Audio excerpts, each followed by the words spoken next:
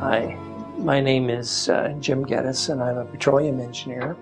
I've been in the petroleum business for a considerable length of time and have been involved in all aspects from production to drilling to logging to geology, seismic, and uh, have always enjoyed what I do. Hi, I'm Mike. Uh, I work with uh, Optimum PSI on uh, our pumping technology for uh, deliquefying natural gas wells.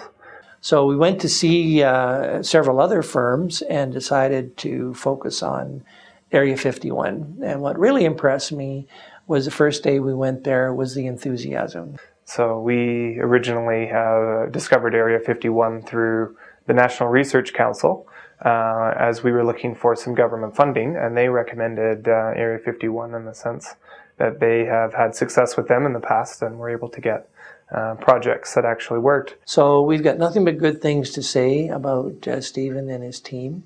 Uh, I also like, uh, notwithstanding we know Stephen's in the background, he delegates the authority to his younger guys. Uh, they also feel comfortable to come up with ideas.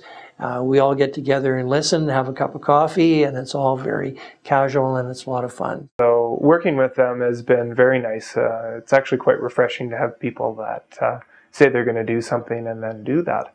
Uh, in this day and age, it seems like it's not as common as it was uh, in in times gone by.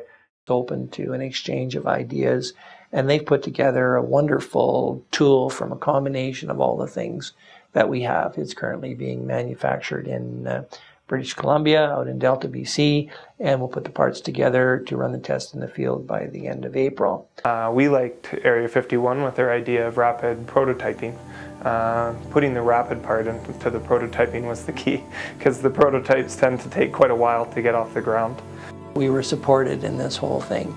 Uh, subsequent to that, uh, they've taken all these ideas and they've built us just an absolutely marvelous prototype. So because of our experience with them so far on uh, meeting deadlines and their budget and how we've been able to keep on track with things, we're happy to uh, go forward with more projects. All I can say is that I would highly recommend Area 51 to anyone and everyone.